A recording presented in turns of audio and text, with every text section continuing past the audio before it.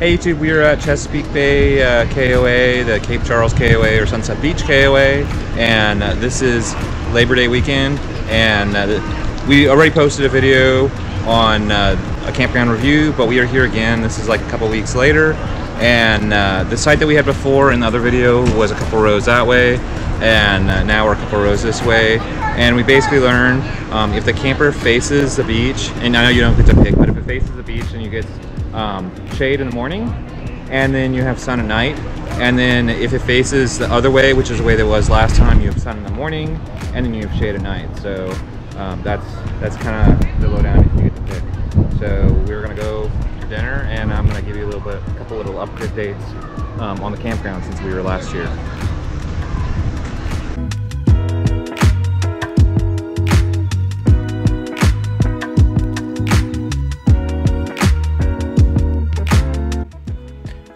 So we're going to do a little walk around of um, Labor Day. So you can see that we had just recently branded the truck and the trailer with some uh, logos. And uh, this is a row that we are on. We are a couple rows over from uh, where we were last time and we basically have the last spot um, in the, the front section. So we basically have like the worst spot of the best spots, um, which is kind of unfortunate that, that's how we ended up. It would have been nicer to tip in up in front, but whatever. Um, you can't really pick, it's a KOA. So anyway, um, we did have this unicorn here with us. This is a Airstream with a slide, which is amazing that uh, um, to see because normally Airstreams have no slides. You got uh, this one apparently had a slide, and I looked it up on the internet, and, they, and I think it was like the 90s or something when they offered um, slides. And I asked him when I spoke to him, he said that he'd only seen one other Airstream in person, like ever, that had a slide. So very, very super rare. So these tent looking things in front of me are like ultra weird. Um, they are like 2x4 construction and they built these like 2x4 built tent things and then they have these large canvases that go over them and inside of them you, you can barely see there's like two queen size beds and some chairs and stuff um, and I think an air conditioner. I'm not really 100% sure, uh, but you can rent those, and I, that would be kind of like a different kind of experience. Um, there you go. You can see that kind of edge there, that construction. Like the inside of it is constructed like that. The pool was fixed. So in the last video that we showed from about a month ago, um, where a hurricane had come through and knocked down the pool, the fencing. This pool you can see is fixed and uh, fully operational. And that surfboard they have there um, is decoration, and there's water shooting out of it, and it lights up and everything. It's kind of um, kind of fancy. Um, we did not go in the pool. Um, it was kind of crazy.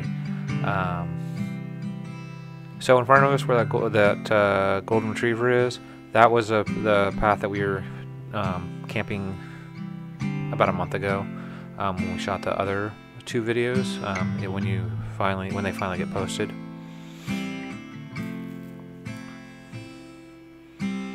It was about uh, seven campers that way on the right. And the shirt I'm wearing, uh, that is another really fantastic channel, Big Truck, Big RV. Um, if you don't know what that channel is, you should look it up. Like their that channel is like good, very good. So this is the same section that we had signed up for. Um, to give you an idea how broad the section is, we could have hypothetically gotten one of these sites if we would kind of like do the lottery and they put us here. Um, but we got one of the kind of back sites. I don't think you're um, since it's a KOA you're allowed to pick sites. Um, on the there's a little box that you can type in like special requests and you can type things in there like please please please put us near the beach or something. And I've typed that in, um, but so far like I think everybody typed that in. So this is Labor Day. They have that little section over there blocked off because they're going to do a little concert over there. And uh, this is specifically the Sunday of Labor Day weekend when it's um, super packed. What I learned was the Monday, the actual Labor Day holiday, um, everybody leaves. So Labor Day weekend was a, um, a party weekend, so to speak, and you can see that Corvally is even getting attention, uh, even by the, the people with the boats out here. And uh, we're sharing a little bit of um, cranberry juice, let's just say. It's more than cranberry juice, obviously, and uh, that's more than Coke and you can see that even all the boats are out here with us. Um, it was pretty ridiculous, and uh, we spent most of the time out here in the water almost the entire um, weekend. And we did not spend so much time like on the beach itself um, because it was just really, really relaxing to be out here in the water. So um, this is a Jackspot. This is the only way down to the beach that um, is easy to get down to. The other ones, you're kind of like climbing down a um, sandy uh, mountainside or whatever. Um, this is a wooden area with nice steps. And uh, the Jackspot um, on the right is a bar, but the inside is closed because of COVID, but the outside, um, they have all the tables all kind of separated out. Even little yellow spots here are is a separate, the six foot um, separation. You can see everybody there. Uh, um, is wearing masks and stuff like that uh, that actually works there. So this is uh, um, the beach, so to speak, and, and, I think that we showed this in the last review, but I wanted to kind of show it off again. And yeah, no, there's a little blurry spot on the camera. I'm sorry, like I didn't realize that the, the lens was just a hair dirty in a couple spots. Um, but this is a, the dog beach, and this is what the sunset looks like. The sunset is absolutely amazing um, here, and uh, I think that this sunset I recorded between maybe like 7.15 and uh, 8.45. I had the GoPro sitting on the um, little kind of, you can see on the left, the little handrail, and there were some kids down the, down a ways that were like playing on the handrail, so that's where the little vibration is coming from, just um, kids or whatever. Um, but very, very fantastically awesome um, sunsets on the beach, and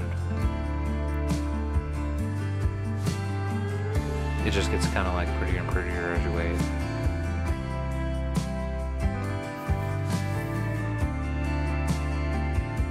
As for uh, people grouping together, you can see there's a lot of people in this video kind of like grouping together.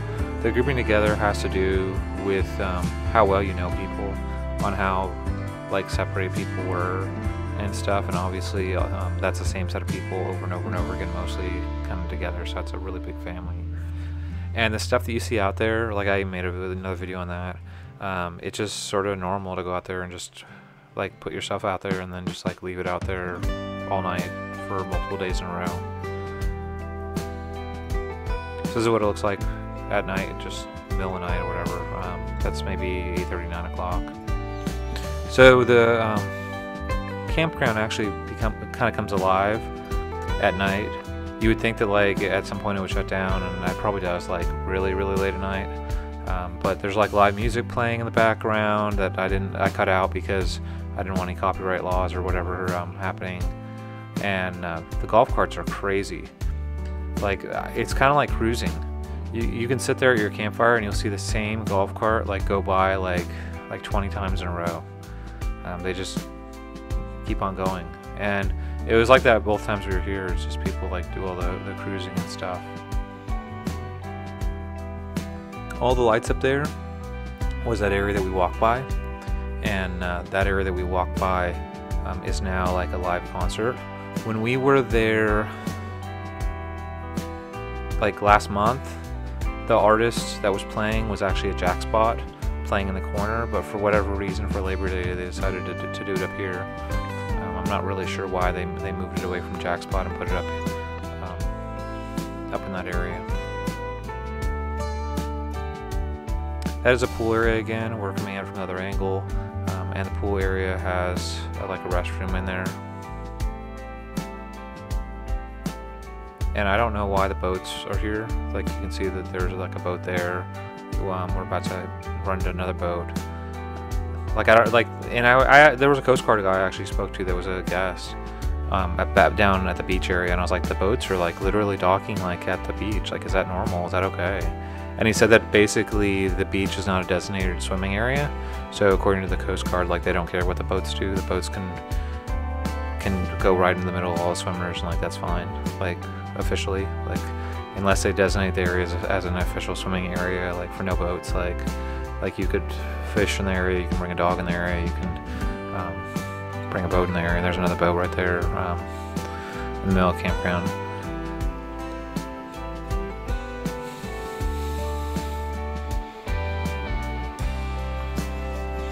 So um, what we're going to do is so people can see the general area of the Chesapeake, um, I'm going to jump over and uh, show off um, what it was like driving here a little bit um, just so you can see that. So the main complaint that we had um, the last time we were here was the amount of time we waited um, to just get into the campground. It took like 45 minutes for a host to allow us to enter the campground. This time when I went in to check in, like it, it was almost opposite. They were like, "Do you want a host to meet you, or can you do, or do you just feel like take finding the campsite yourself?" And I was just like, "I'm gonna go like figure it out myself." And like if the host is there, like they can go with us. Um, and the host was there so like they immediately took us in. We did not have any kind of major delay like we had last time. So maybe that was a fluke thing. So last minute or so the video is just going to be the tunnel. Um, for those of you who know what the tunnel is, like thank you uh, for watching the video. Please like and subscribe. Um, but this is the road that you use to get specifically to Chesapeake uh, KOA, and uh, it's I think I like 20 bucks, um, or at least was for us with a truck and the um, the trailer. But they have these series of bridges that go over the water that are kind of cool, and then uh, these tunnels. And uh, literally, you're like going over the water, then you're going under the water, then you're going over the water, then you're going under the water. And this is a way. Um, this is the route that you're watching is a route between Virginia Beach or like Newport News, um, northbound to get to Cape Charles. It depends on where you're coming from. If you're coming from like way north, like say Maryland, you probably wouldn't take this exact route. Um, but if you're coming from Washington D.C., you probably would take this route because it's quicker to take this than it is to go all the way up to Maryland. Um, but it is kind of cool. And uh, we are on dry land now, so the KOA is on our left. We just passed it. It's like right here. So um, thank you, and uh, please like and subscribe. We'll see you guys around.